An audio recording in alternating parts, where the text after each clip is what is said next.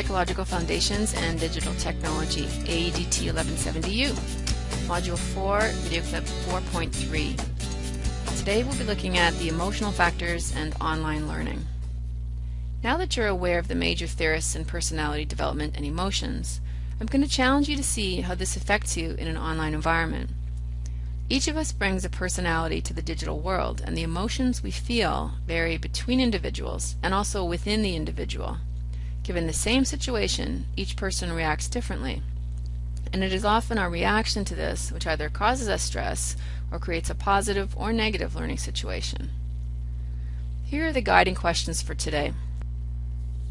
What are the influences of emotion in online learning settings according to Reilly, Gallagher Lepak, and Killion? Based on the themes they found, reflect on where you stand for each emotion continuum. Using Jungian Myers-Briggs personality inventory indicators, try to predict what type of learner you are.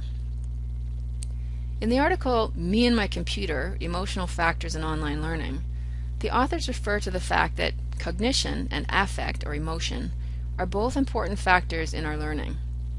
This separation of heart and mind, of affect emotion and intellect logic, has existed for centuries.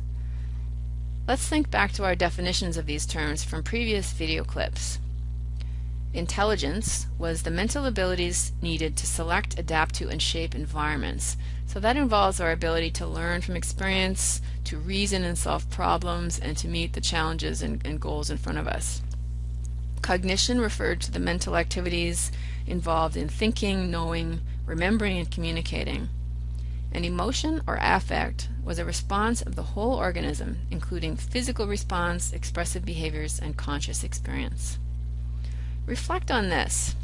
Which one of these is more important to you in an online learning setting, emotion or cognition? In Western cultures, we tend to favor logical scientific thought and cognition. However, this is merely a cultural bias. In fact, research has shown that the interdependence of learning and emotion is far more complex than we previously thought. Imagine you could time travel back to your most successful learning situations. What emotions were you feeling, and how did it affect your learning?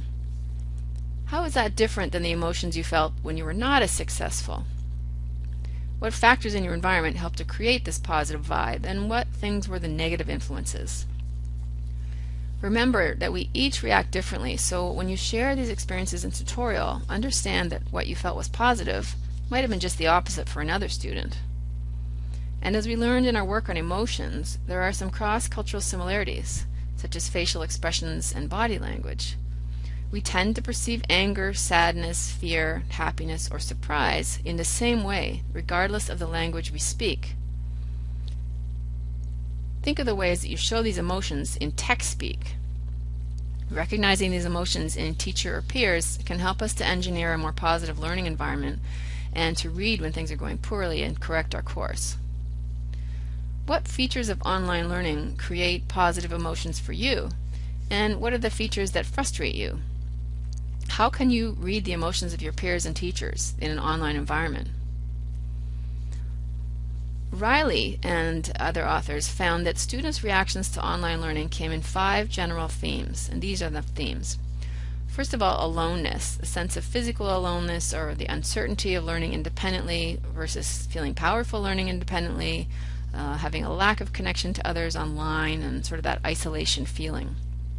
The second one was anonymity, where the degree of sharing identity or personal factors, such as feeling unrecognizable or invisible online. The third one, nonverbal communication, referred to the absence of face-to-face communication cues. So no visible body language made people a little uncomfortable when they were communicating online. And for other people, they actually felt safer because they um, were not being judged for their body language. Trepidation or fear, this would be fear of making mistakes, fear due to lack of online experiences or lack of experience with the technology, uh, or apprehension due to inexperience, and also some concerns about privacy. And the last one were just general unknowns, ambiguity, not being face to face with your instructor, or anything that was unclear that you couldn't get um, figured out online. Brainstorm some of the factors that you can relate to in these five themes and be prepared to share them in tutorial. If we can identify the struggles that you're having um, and also the positive features that you have, then we will move forward as a community. It's clear that online learning does have its challenges and its benefits, and your responsibility is to identify the challenges that you face and share them with our online community. Affective or emotional dimensions of learning are extremely important. So take a look at the words below as cue words to see if you can identify with what your predominant emotions are. Are your emotions attributed to the learning environment or to the fact that you're learning independently? Is some of your emotional makeup related to what's occurring in your personal life or the physical space you're in while you're focused or distracted, you're comfortable or uncomfortable? And how can you separate your emotions from your learning? Or should you? What are some of the ways that we, as an online community, can use technology to overcome the affective or emotional challenges in digital learning? Well, first of all, you can use social media to stay in touch with your classmates. Create some out of class blogs or wikis Use your digital moment each week to let us know how you're feeling about the course. Remember, this is what you're going to submit as a photo or a word or a clip. This is how we can stay in touch. Don't isolate yourself. Reach out for help before you need it. And offer help to others if you have expertise in a certain area. Take responsibility for your role in our online community. Sometimes what happens is that the lines between teacher and student blur, and we teach each other where our areas of strength are, in particular with regards to the technology. So don't be surprised if I will be asking you some questions. Now let's take a look at personality and online learning. According to Rovai and Grooms, there are certain personality attributes that they suggest might be predictors of success in online learning. They used the Myers-Briggs personality indicators based on Jung's theory of personality types. And Jung had theorized that everybody has a basic orientation to the world that suggests the direction in which our energies or interests flow. For example, extroverts are drawn to the external world of people and events. Introverts are more drawn to the world of ideas. Sensors process the world through immediate and practical experiences and people who depend on intuition process the world through inspiration and imagination. People who tend to focus on thinking make decisions based on logical and impersonal analysis versus those of us focusing on feeling who make decisions based on personal values and heartfelt feelings. Judgers tend to lead a structured, planned, and ordered existence. They, they're the list makers, they try to control, and they need decision and completion, and perceivers are those of us who are spontaneous and value flexibility. Each of these types exists on a continuum, so take a moment to reflect on where you might sit on each of these continuums. Atman reported that people who tend to have success in distance courses uh, usually are extroverts, intuitives, thinkers, and judgers. Since traditional face-to-face -face school environments tend to be highly structured and organized, judgers are usually high achievers there, whereas perceivers don't like strong structures, can really do well in, in um, better in an online environment. Remember that that was only one study, however, and individual diversity plays a huge role. In addition, the teacher's or facilitator's ability to reach each learning style and personality type is probably more of a feature in you staying interested in the course than what type you actually are. The Toronto Star on July 21, 2012 featured an article on smartphones that can read you like a book. Technology would let your device sense your emotions. And I'm going to read a short clip from the article. Sick and tired of telling your friends how you feel?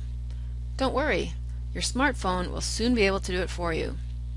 BlackBerry maker Research in Motion has filed a patent for a smartphone that will be able to sense a user's emotional state based on the words being typed, your blood pressure, facial expressions, and even how hard you're tapping the keys.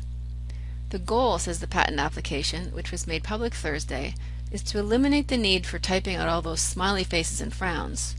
Emoticons are so 2011. Galvanic skin response sensors may be used to capture biometric data of a user of the mobile device, including blood pressure, heart rate, muscle control, shaking, facial expressions, galvanic skin response, etc., that may be useful in determining the emotional state of the user, reads an excerpt from the U.S. patent application. In other words, the phone would read your emotions and add appropriate visual cues, say, like this if you're angry, in capital letters.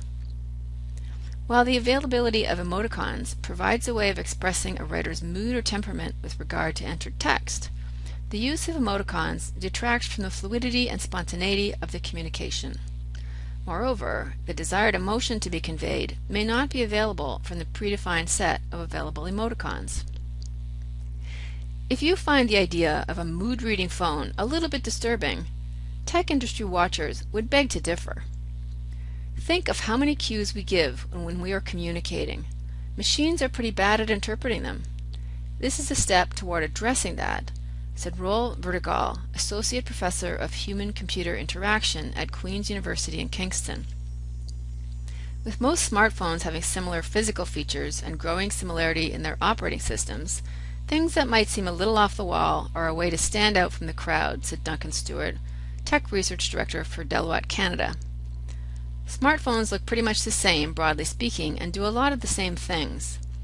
This is a way they can differentiate themselves, said Stewart, who estimates RIM could have the mood reading phone on the market within a year. Earlier this year, Microsoft filed a patent application for systems to track web surfers' emotions based on video conversations, Facebook status updates, and other tools. The goal of Microsoft's technology is matching online ads to user moods. This is certainly something for us all to think about and chat about in tutorial. Here are the synthesis questions for today. What type of personality do you think our culture favors in terms of academic success?